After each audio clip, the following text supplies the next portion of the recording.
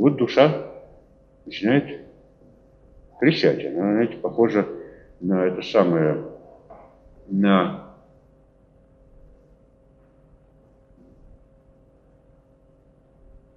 если бы это было бы так, конечно. Вы когда-нибудь видели э, пляску святого Вита? Есть болезнь такая, пляска святого Вита. Она внешне выражается, выражается что все члены тела, то есть ноги, руки, губы, то есть все, что создано для жеста или движения у человека, приходит само по себе движение. Движется, причем подчиняется определенному ритму. Ну, скажем, рука делает такой жест, потом вторая рука делает такой жест, нога делает такой жест. Это какой-то механический, самодвижущийся механизм, живое человеческое тело превращается в таковое.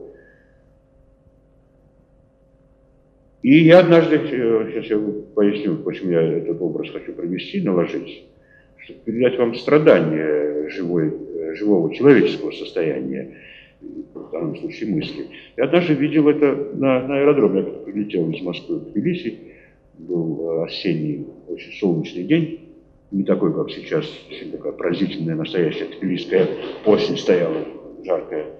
И у павильона, там, где дают вещи, ждал, пока привезут вещи. И вдруг вижу на газоне, там, этого павильона, стоит человек, старый. И вдруг он вошел в какой-то... Сначала он, значит, он наклонился, прикоснулся одной рукой, значит, правой рукой к левому колену. Потом сжал правое и левое колено. Потом эту руку, именно эту руку, не другую, которая прикасалась к колену, поднес к носу. Потом положил ее так. Эту руку положил так, наклонился и еще какой-то движение. Потом все началось сначала, потом снова эта рука касается колена, потом она касается носа и так далее. А представьте себе, что внутри этого механизма живая человеческая душа.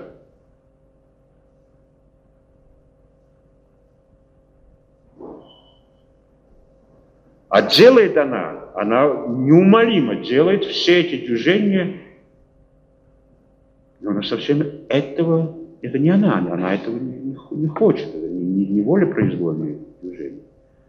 Она как бы внутри этого механизма, под скрежетом ее, ну, это как оказалось, что в этом у нее уже есть душа. Значит, как же она должна вопить под, э, внутри, внутри цикла этих вынужденных движений?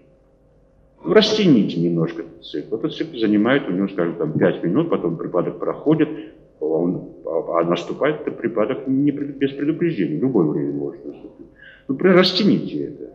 Представьте себе, что, может быть, вся наша жизнь такая пляска святого Вита. Что мы, наша живая душа кричит внутри последовательность совершенно абсурдной, нелепой и вынужденной, непроизвольной последовательности каких-то ритуальных движений. А движение имеет совершенно ритуальный рисунок в пляске святого Вита. Одно строго следует за другой, и рисунок задан и он не может быть нарушен. Человек, можно сказать, впадает в пляску святого вида, из которой он выйти не может.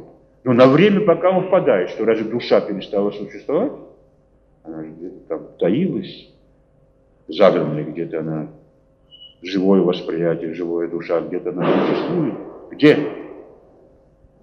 Так вот, если мы возьмем эту метафору, растянем ее и предположим, что такое состояние может длиться не пять минут и не так выражаться в болезни, а быть всю жизнь тем, что мы якобы говорим в последовательности слов, переживаем в последовательности переживаний, делаем впоследствии последовательности дел. Все это может быть пляска святого Вита. Значит, мы узнаем что? что я могу испытывать живое состояние, а в это время место уже занято. Я повернулся, а на стуле уже сидит я. Но я знаю, что это не я, но место занято. А куда мне деться? с моей мыслью. То есть в области мысли мы тоже испытываем то, что бывает случается и в других областях, а именно, что налаженный механизм какой-то мира заранее вытесняет или своей глыбой давит любое живое состояние. Живое, то есть то, которое для меня несомненно живое состояние. Я, несомненно, для меня с очевидностью в нем, а ему нет места. И очень часто то, что называют проблемой самовыражения или выражения человека, является как раз проблема вот это, выразить человеку это. Когда человек называет что-то невыразимым, или когда он страдает от непонимания других, чаще всего именно вот это – то, что изнутри ощущается, несомненно, живое, а в мире действий и выражений, потому что выражение тоже действие, этому места нету, уже занято. Рука моя. Я хотел бы ею двинуть в соответствии с живым состоянием или восприятием, а она уже движется в пляске святого вида.